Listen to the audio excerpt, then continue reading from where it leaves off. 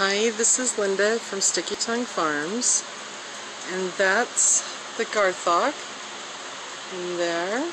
and he says, I like this tree. I don't care that there's a girl there, a girl there,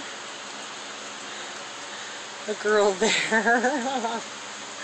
uh, there's a girl there, she's running. Let's see. Oh, look. And here's Slick Rick. Over here. And the Garthok is right there. Look at you. Look at you.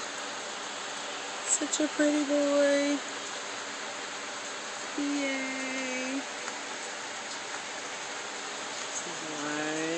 You so close to me? I don't know what he's doing. The crick is right here. And he's got his females right here. Look at there's three right there.